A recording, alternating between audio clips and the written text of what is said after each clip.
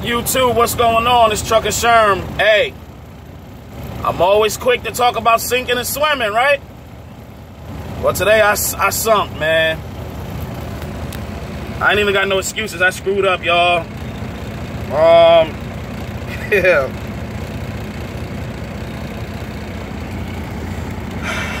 This morning, the night before Thanksgiving was my last night working. See that? I forgot to put them in my tanks. I plugged up my truck. I went to visit family for Thanksgiving. Came home this morning, woke up this morning motivated, ready to get to the money. Went to turn the key, nothing. So we at, it's about after 12 in the afternoon.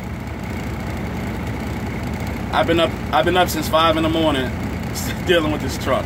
My truck gelled up on me. So what I did was you could buy you could buy the little torpedo heater. It's like a kerosene torpedo heater. They sell them at Lowe's. I ain't feel like driving that far, so what I did was I got a heat gun. And what I did was I'm gonna explain it verbally, and then I'm gonna show you step by step how you can do it.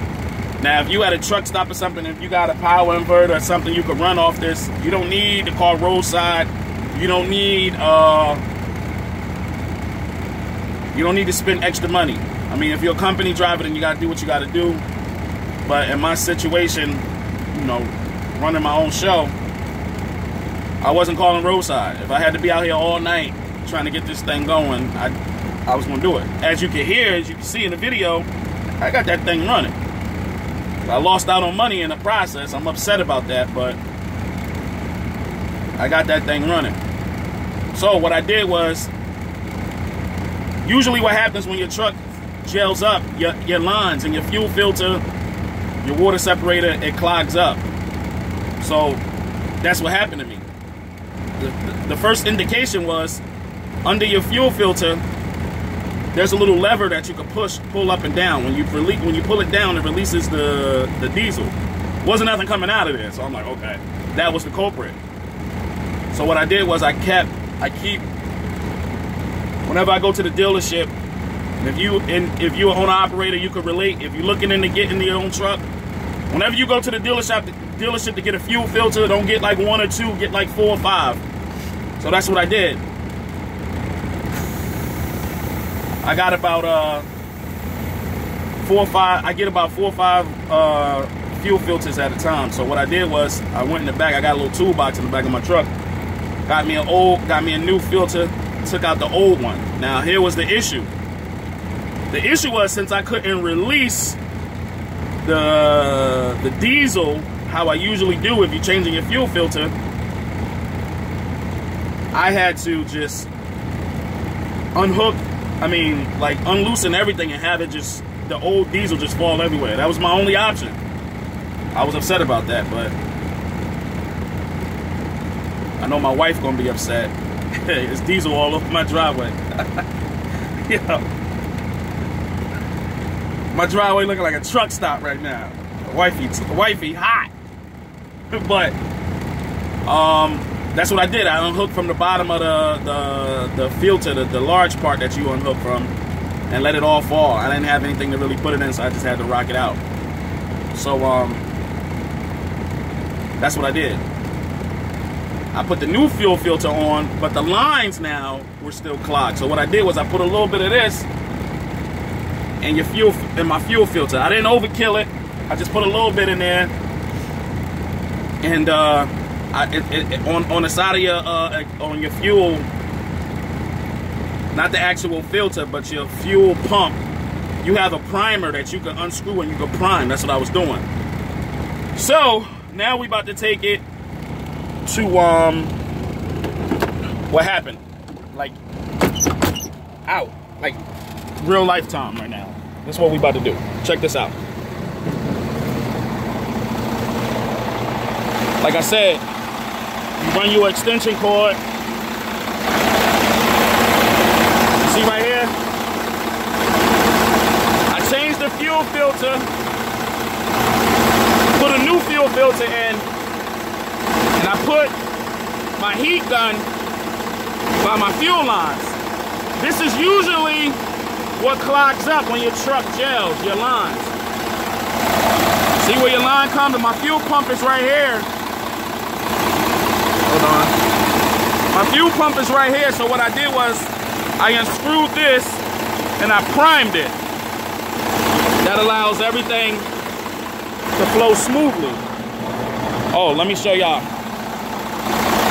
Look at all this diesel. all this diesel on the ground. I got I got my driveway looking like looking like the, the TA right now. I came in the house this morning, I had mad diesel on me. Wifey said I sound like I smelled like a jet. I was in the house smelling like Fire Marshal Bill. I had to change my clothes. I was determined, y'all, but here you go. Use it. I, I was slipping the other night. I ain't afraid to admit that. Get you a heat gun. Mean, if you want to do it faster, you can use a kerosene torpedo heater. Set it there. But I, the way I look at it, you're going to have to uh, babysit what's going on under the hood anyway, because you don't want to burn up under the hood. So I, instead of going all the way to Lowe's to get a torpedo heater, I just use my, my heat gun, attack the lines. Now I'm back rolling, man. Now I'm back rolling, man. So I hope this helped y'all. I mean, it's the winter. It was seven degrees this morning, man. And like I said, I it was Thanksgiving. I I just was thinking about chilling with my family, you know what I mean? So I kind of neglected this, but it happens, man. I'm good. I'm good for getting up here talking about sinking and swimming. And uh, my man Trucking in Life, if you watching this, I know you're dying right now, especially with how me and you was conversing with the emojis I was putting. So yeah, I sunk today, but I got up out of there. Hey, thanks for watching. This is with all trucks, man. If if you gel up, it's a quick alternative to, you know, get your truck rolling. Just use the uh, the heat gun. If you at a truck stop somewhere and um, you got power where you can run something off of your inver inverter or you got you know something that like an inverter some, that can that can uh, withstand the wattage use a heat gun man keep you some fuel filters and all that in your truck and uh, you'll be all right. This truck is Sherm. I hope everybody had a wonderful Thanksgiving. I hope y'all was full.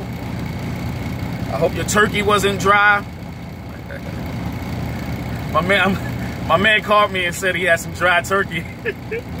he had some dry turkey from his in-law house and he wasn't feeling it. So uh, that was kind of funny because you can't disrespect turkey like that, man. You got to throw something on some gravy on there or something. But yeah, man, I hope everybody had a wonderful uh, holiday, man. It's Black Friday. Spend it up. Take care. God bless. Love and peace. Peace and love. I'm out.